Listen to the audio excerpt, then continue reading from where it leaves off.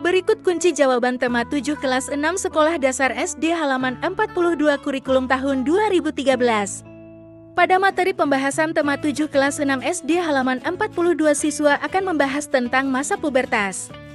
Sebelum mengerjakan latihan soal, siswa diminta mengulas kembali materi tentang masa pubertas yang pernah didapatkan sebelumnya. Kunci jawaban ini digunakan sebagai panduan dan pembanding oleh orang tua untuk mengoreksi pekerjaan anak. Amatilah gambar berikut.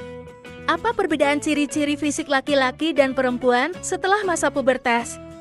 Diskusikan bersama teman sekelompokmu, lalu bacakan hasilnya di depan kelompok-kelompok lain. Ciri-ciri fisik laki-laki setelah masa pubertas. Tumbuhnya rambut halus pada ketiak dan alat kelamin.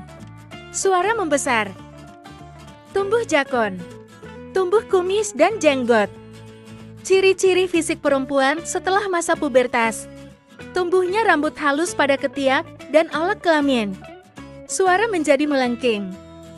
Payudara membesar. Pinggul membesar. Disclaimer. Jawaban di atas hanya digunakan untuk memandu proses belajar anak. Soal ini berupa pertanyaan terbuka yang artinya ada beberapa jawaban tidak terpaku seperti di atas. Download Tribun X sekarang menghadirkan lokal menjadi Indonesia.